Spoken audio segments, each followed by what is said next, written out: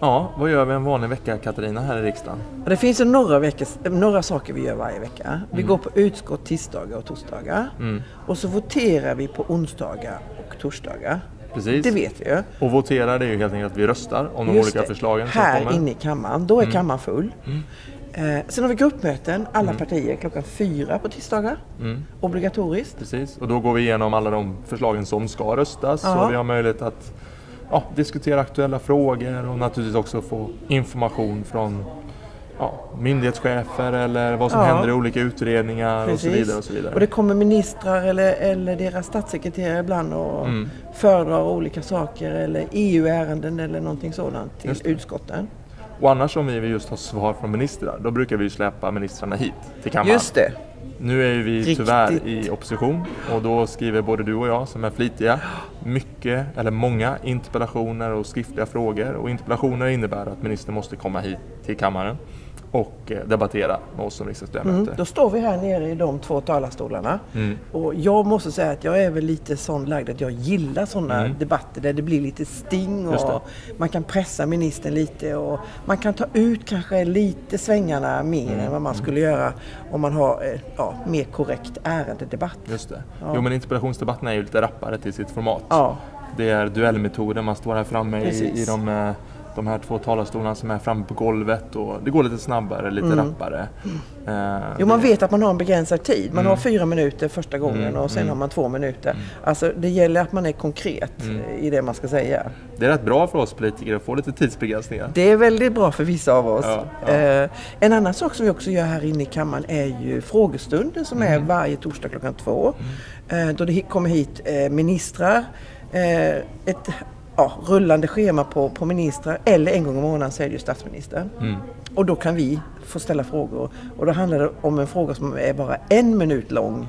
Precis. Så då är man ännu mer konkret. Ja, så vi har ett antal olika redskap som vi kan använda. Mm. Men i grunden så är det ju rätt mycket upp till oss att göra vad vi vill med de redskapen. Både du och jag brukar säga det ibland att vara riksdagsledamot är att vara egenföretagare i politik. Ja, Det är lite upp till en själv att både absolut. välja och vraka i verktygslådan vad man väljer att använda sig av.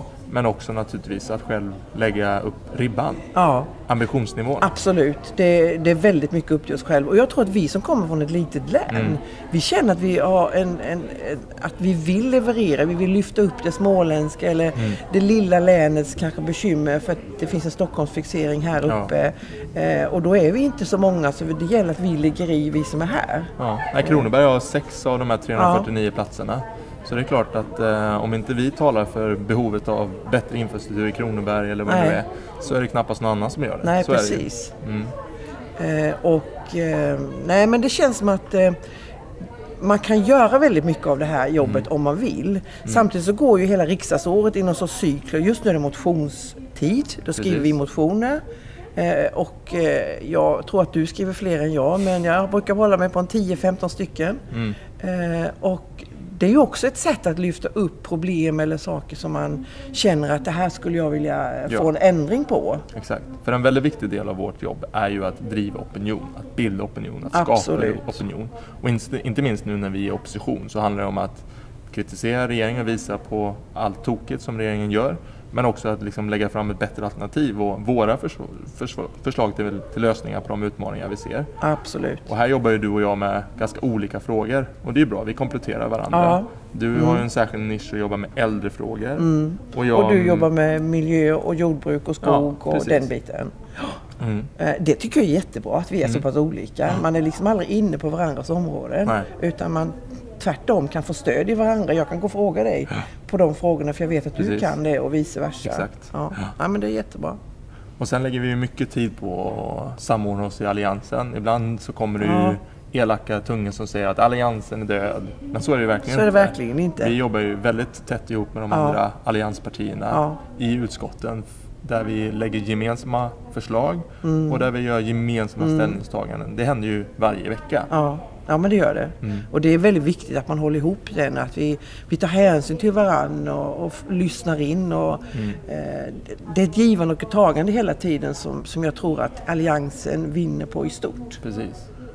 Men när väljarna och liksom gemene man tänker på vad en riksdagsledamot gör och vad vad man gör i riksdagen Ja. så är det ju troligtvis plenisalen där Ja. vi nu står. Många stör på. sig på att det ofta är tomt där inne. Ja.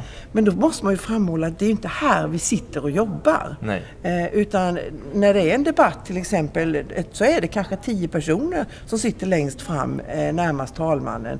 Vi andra vi sitter på våra rum eller är någon annanstans. Och sitter man på sitt arbetsrum, ja då kan man följa via tv-skärmen vad som händer här. Man kan också om man känner att det här är en fråga jag borde engagera mig i eller ha en åsikt om. Då kan man gå hit och vara med i debatten. Eh, men man ska inte störa sig på att det är tomt här för då brukar jag säga det är då vi jobbar som mest, när det är tomt i kammaren. Ja.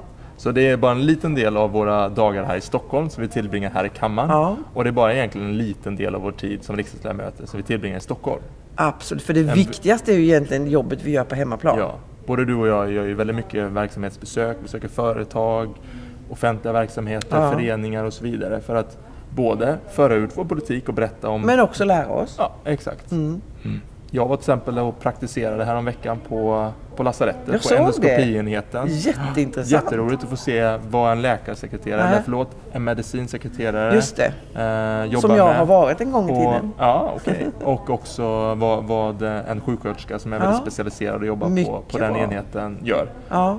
Det är ju superviktigt Som ligger ganska långt ifrån ditt eh, verksamhetsområde i politiken. Exakt, och därför är det desto viktigare för mig att, Absolut. att ta vara på den här möjligheten. På fredag ska jag till ett boende i Växjö som Mm. Attendo driver. Just för att vi vill diskutera de här frågorna, vinstbegränsningsfrågan. Mm. Eh, som skulle innebära att många av de boenden som idag finns, de skulle inte finnas längre. För kan man inte få ha någon vinst, då finns det Mm. inget intresse av att driva de här verksamheterna. Nej, så är det.